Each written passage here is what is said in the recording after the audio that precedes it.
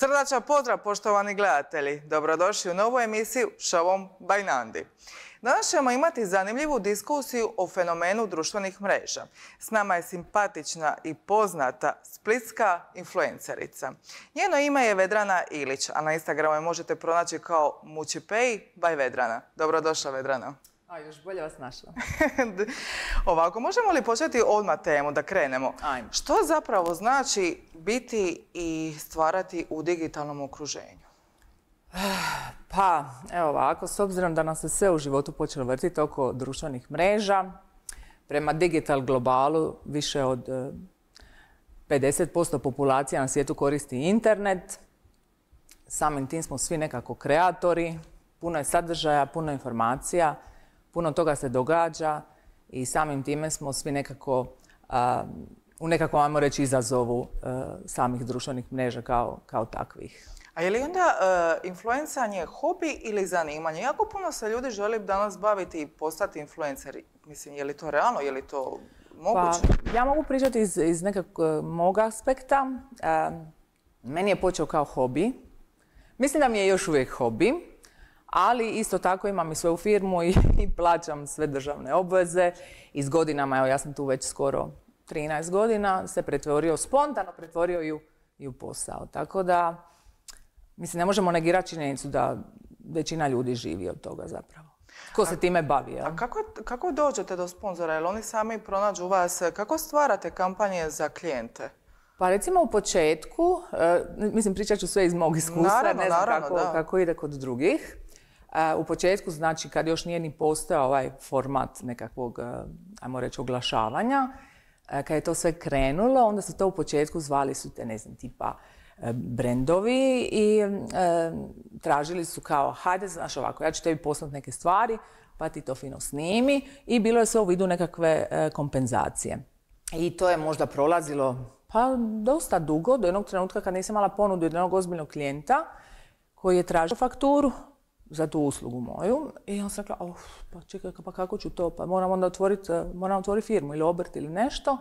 Tako da u početku su bile kompenzacije, a kasnije kad vidiš da zapravo moraš, eh, moraš izdati fakturu, onda su kasnije krenule agencije koje su nam pronalazile poslove i zapravo sad imaš jedan i miks. I agencije, i brendovi se sami javljaju. U principu može se zarađivati uistinu od Instagrama. Nije laž, nije nikakva izmišljotina. Pa nije izmišljotina, mislim, može se, realno se može. Sad ovisi sve koja ti je niša, čim se baviš, koliko se trudiš, koliko ćeš raditi, ali to je jedan posao od ono 365 od 0 do 24.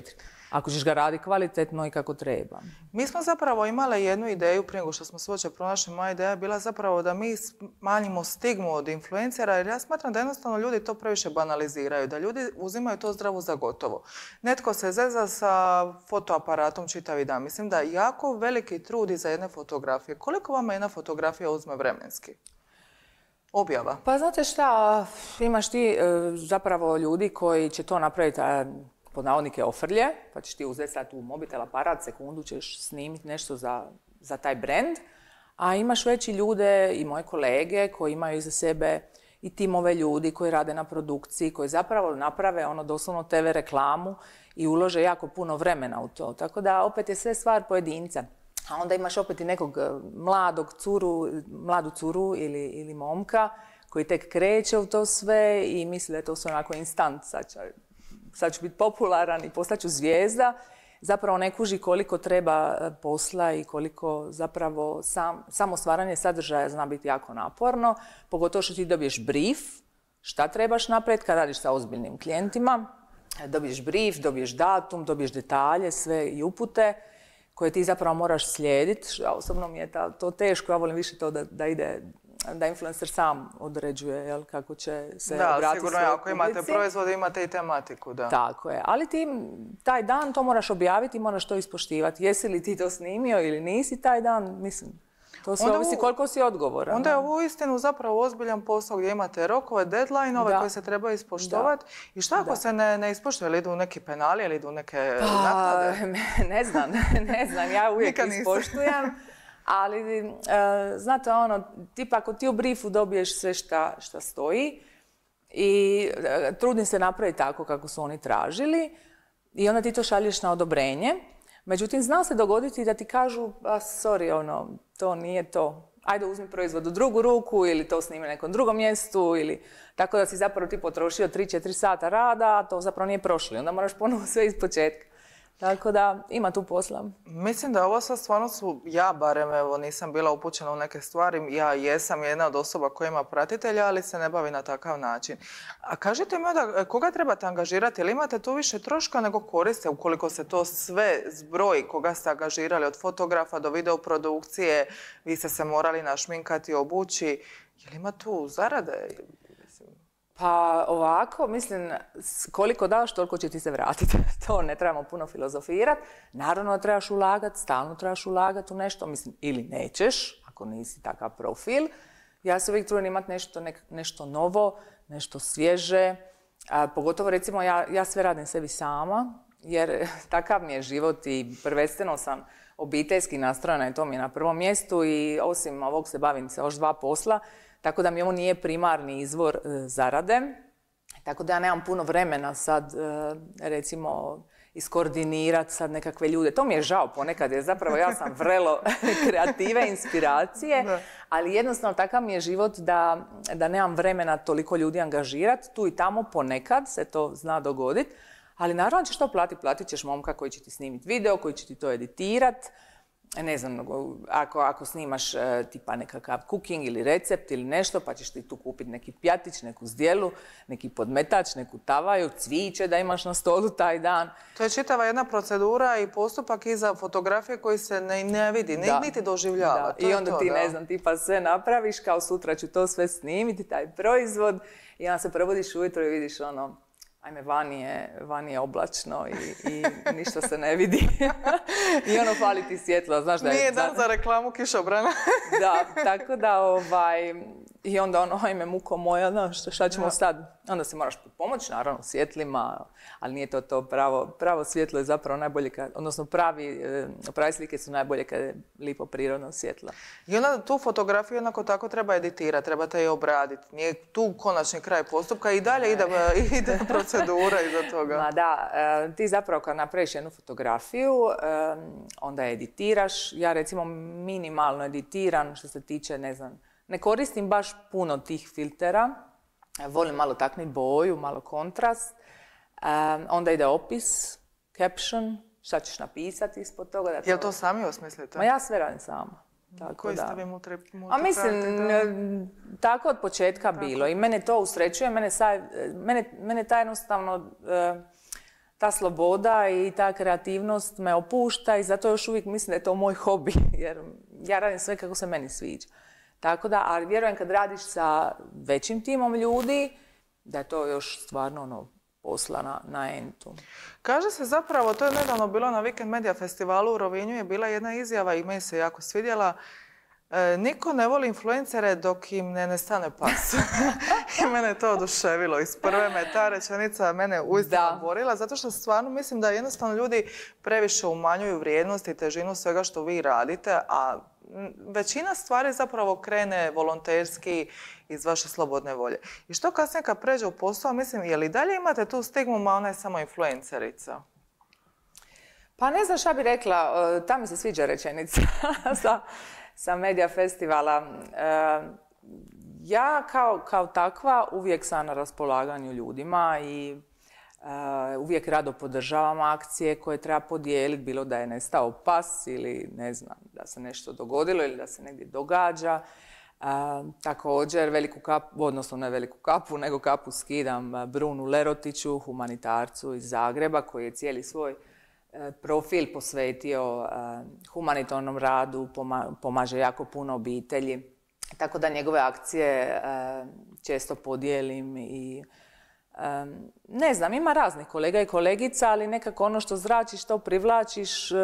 Ja smatram da takve neke stvari koje, za koje je potrebna i humanost i nekakva empatija, na mom profilu za to uvijek ima mjesta, tako da...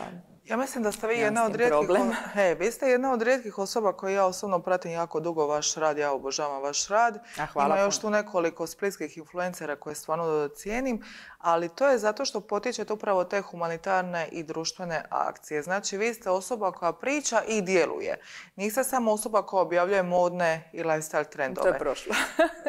Kod mene malo je prošlo. I čujte, mislim da je bitno je zato što kad imate trenutak kojega možete iskoristiti, vi ga koristite na najbolji način.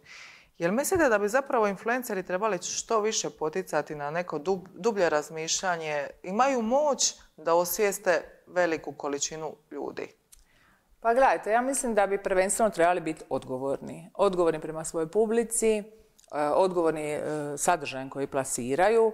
E, Puno je, jako puno je tu adolescenata i djece koja to gledaju. E, Na mom profilu recimo je populacija od 35 do 55, tako da neću reći da mogu biti malo manje odgovorna, ali trudim se i tu svoju populaciju motivirat, e, trudim se da, da im plasira nešto što će im popraviti dan, Em, trudim se da, da s njima podijeli neke kadrove iz mog života kako ja živim, da bi možda njima bilo bolje.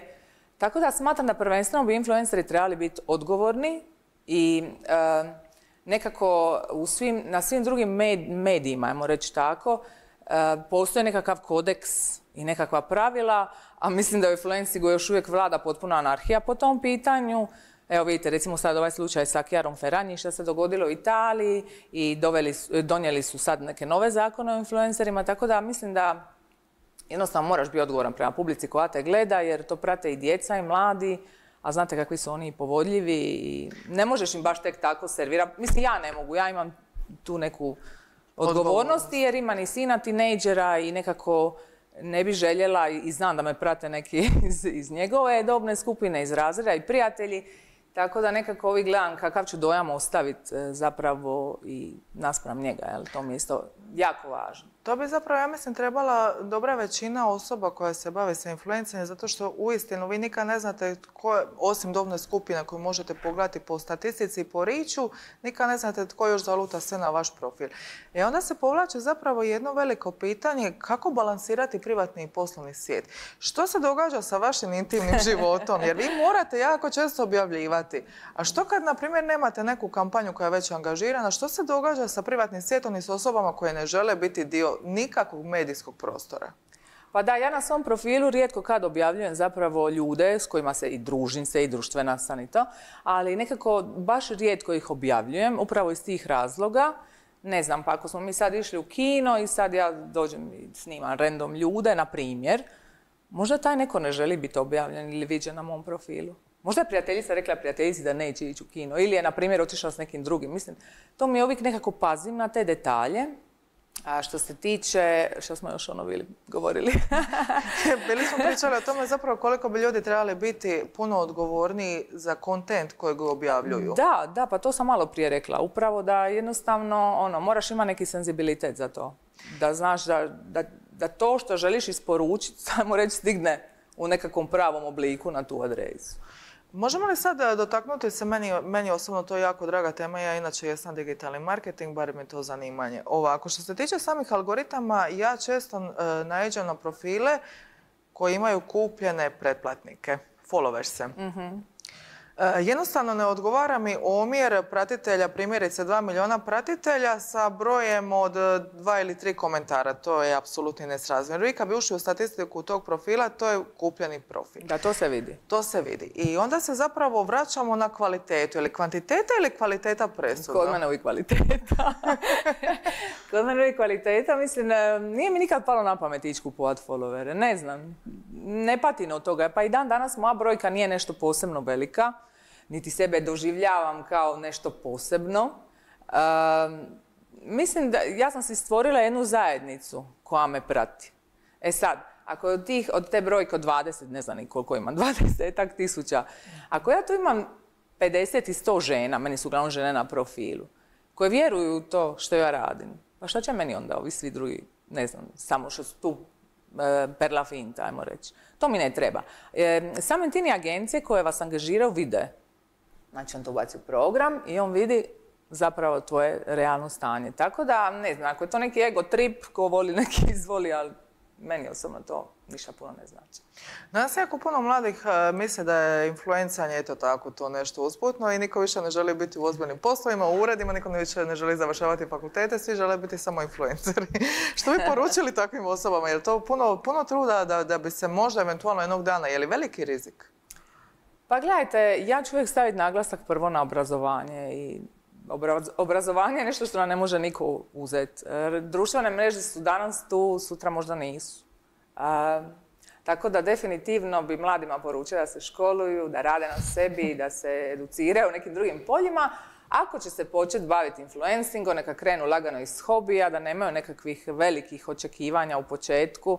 Znate, ono, ja ću sad biti poznat, ja ću biti bogat. Mislim, ja i danas evo, ne razmišljam o tome kao o svom poslu i mislim da mi, je, da mi zato i nekako i te kampanje i dobro i dolaze same od sebe, sve nekako spontano. E, baš zato što se nekako puno ne zamaram sa Instagramom.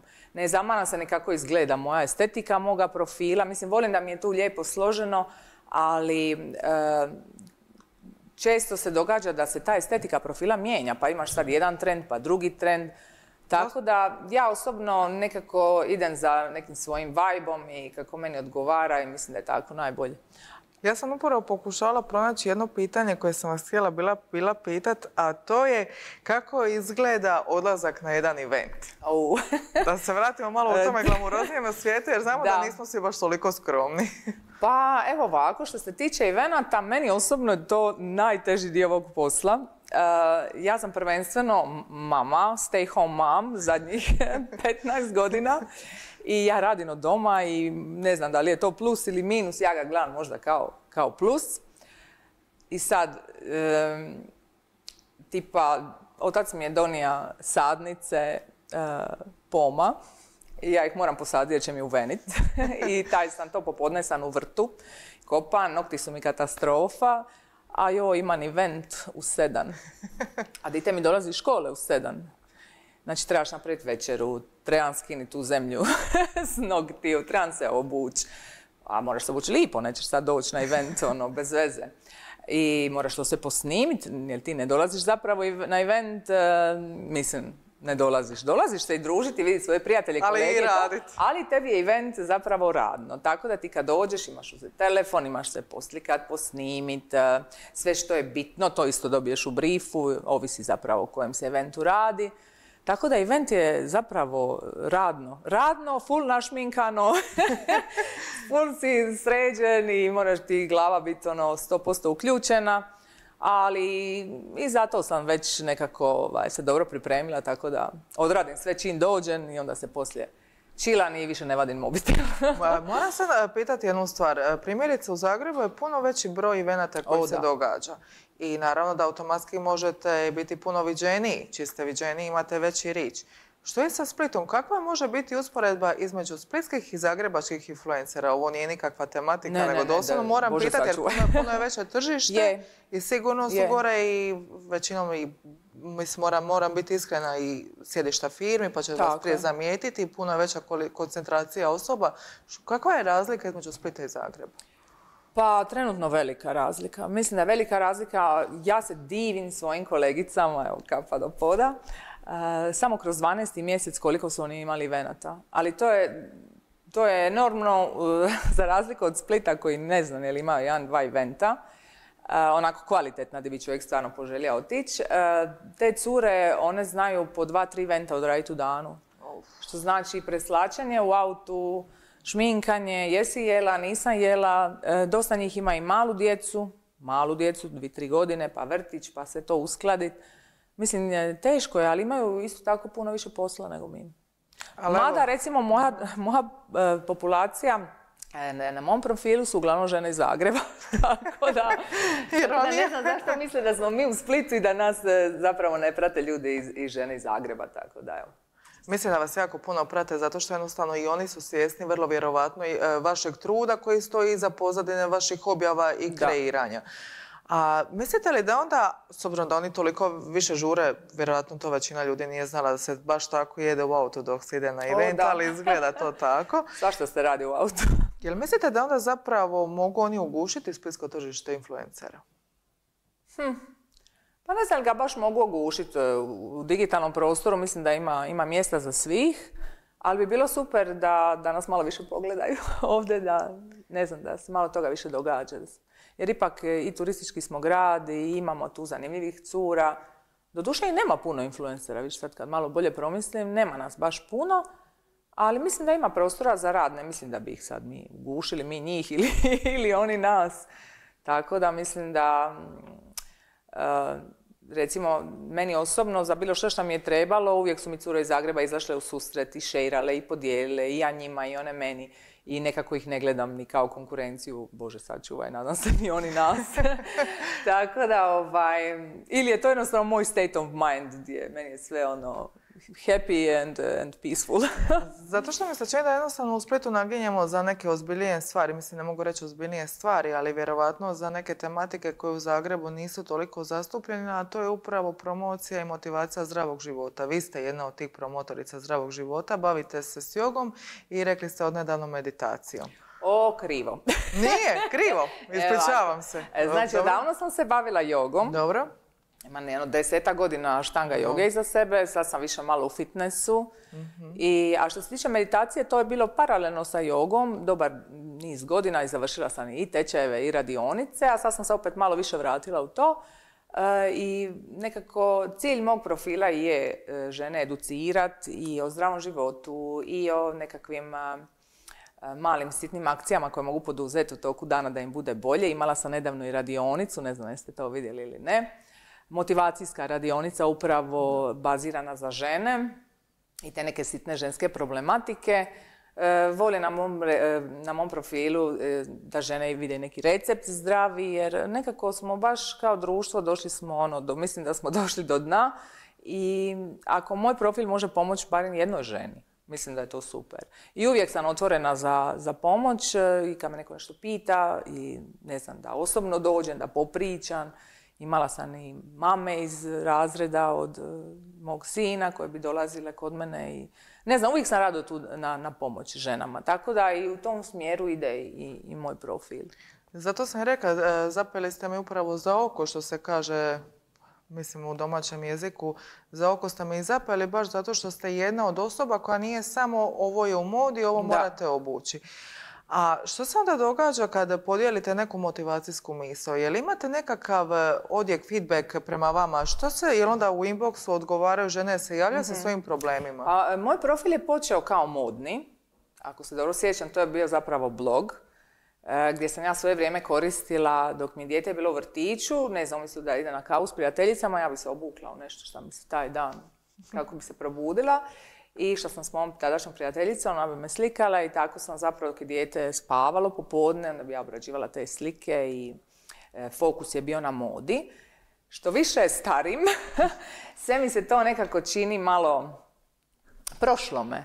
Prošlo mi, iako je to moja profesija i to radim i dan danas sa ženama radim kao stilist i pomažem u tom aspektu, ali e, više mi nije peak of the day e, uzeti neki outfit, slikat se na rivi ili, ili u gradu, napisat ne znam di sam šta kupila, jer mislim da e, nekako ne da mi se više nešto posebno isticati po tom, u tom polju.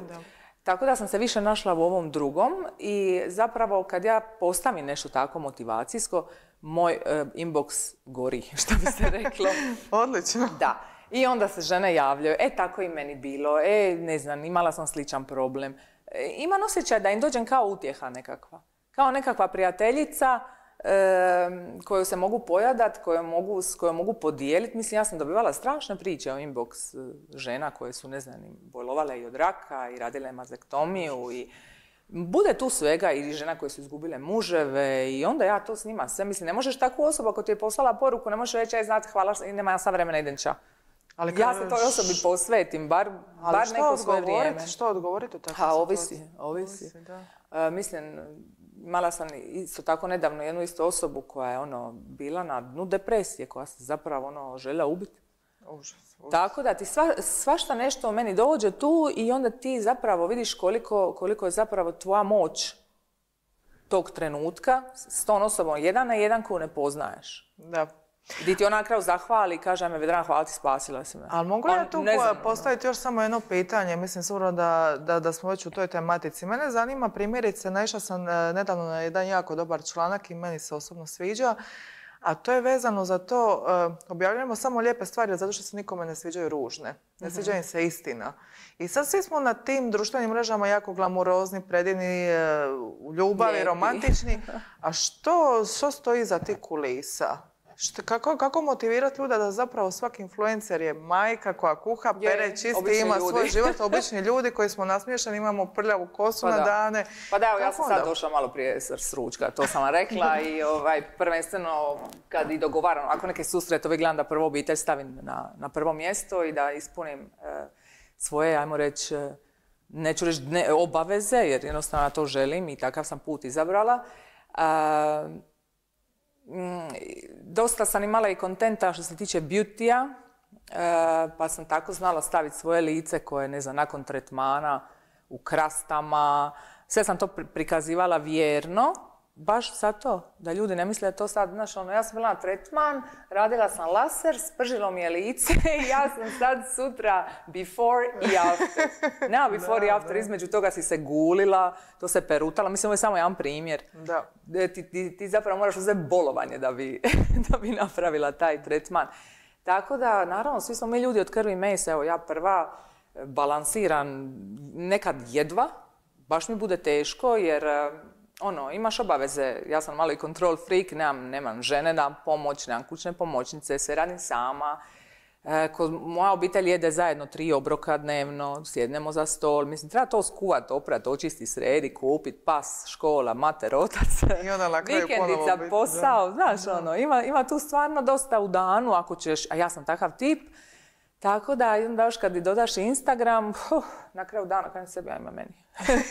što je ovo meni, ali još uvijek mi bude gušt. Ali isto tako sam sad našla sebi e, balans, da ako mi se ne postan, ne postan, ono, taj dan neću postan ništa, ne da mi se, znaš, ono. A što onda s tim rokovima od kojeg smo počeli na početku? Da, pa imaš, kad imaš rokove, imaš rokove, to se mora ispoštovati. Ali isto tako subota i nedjelja, ako mi se ne da postat, više neću postat, ono. Znači, imate ali radno mi rič vrijeme. onda ide dole, da.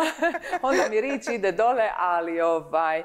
I mislim da je ta utrka za tim ričem i- tim algoritmom nešto što ljude onako baš... Da, pogotovo, ih vozi. pogotovo u zadnje vrijeme, da. Je, jer ti ako ne objavljuješ redovito, ti padaš dole negdje. Znaš, samim tim si ono, ajme ja sam loš. Ajme meni zašto sad su mi skinili followere. Mislim, mogu zamisliti kako je to mladim ljudima. Meni je to ok, it's ok, jer imam sad sto ljudi gore, dole, mislim, mene brojevi tu ne interesiraju. Jel mislite da smo previše postali ovisni o društvenim mrežama? Primjerice, nekako izgubila se ona klasična komunikacija između ljudi. E, sad je bitno samo Je. što je neko objavio i onda ga ja stolkam, onda ga malo uhodim pa stvorim sebi neku svoju virtualnu priču, iluziju o toj osobi jer ja sam vidjela na toj fotografiji da to tako izgleda i svi smo popeglani, svi smo puno Da, mršavi. puno je filtera, puno se obrađuje.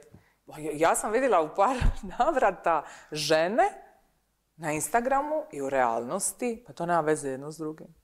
Ono, na Instagramu ima tanku ruku, dugu nogu, a ono zapravo ženskica je, ne da nije to ona, mislim, nema veze s Ona je njom. prosječna žena u stvarnosti kako bi Nema zapravo trebala njom. izgledati. Da, i ovaj, mm, veliki je krivi- fokus na te mreže, da. Je li to kriva, krivo društvo ili su to krive mreže? Pa cijelo nam je društvo katastrofa, tako da mreže su samo preuzele svoj dio, ali mislim da nas svima treba kompletni reset. Neki dan sam pročitala jednu zanimljivu stvar, bilo bi super da je instar- e, internet i Instagram kao dućan da zatvori na večer u šest. A, je li bi to bilo dobro? Bilo bi Znaš, ono, u šest sati se se gasi i sad izvolite, tu ste s familijom, pričajte, družite se, ono, iza šest ne radimo. Mislim, ja bi to potpisala odmah. I evo, ulazimo u zadnju minutu da sažmemo našu temu. Što bi poručili našim gledateljima, svojim pratiocima, budućim pratiteljima, kako što bolje iskoristiti vaše vrijeme na društvenim mrežama, e, kako ne stvarati nikakve krive slike? Pa, prvo ću pozdraviti i zahvaliti svim mojim pratiteljima svih ovih 12-13 godina. Stvarno ima tu divnih ljudi, divna prijateljstva su se izrodila. E, druga stvar, dozirajte i birajte sadržaj koji ćete gledat. E, da li će to biti edukativni ili zabavni, nije bitno, Treća stvar, nemojte hejtat ljude po, društvenim mrežama, bez obzira u kojoj fazi života se nalazite i nekako koristite te društvene mreže kao nešto što će vas inspirirati da u tom danu napravite lijepo za sebe i da vam bude bolje vama, vašoj zajednici, vašim prijateljima i čitajte knjige, gledajte filmove i idite offline što, što češće. Eto, to bi poručila ukratko. Hvala Vedrana što ste mi bili gost. A hvala vama. Ja vama, baš, baš moj- ja vama i našim gledateljima mogu poručiti samo jednu stvar. Nemojte stajati za lažnih profila, pisati stvari koje ne bi napisali sami sebi. Ukoliko nosite neku grižnu savjest, neki hejt ili bilo što, puno je lakše doći i popričati s osobom nego se skrivati za lažnih profila. Za ostale stvari podržavam gospođu Vedranu. Birajte jako dobro, birajte pametno. Tako je. Odabirite dobre profile, kvalitetne profile. Laku noć i srdačan pozdrav.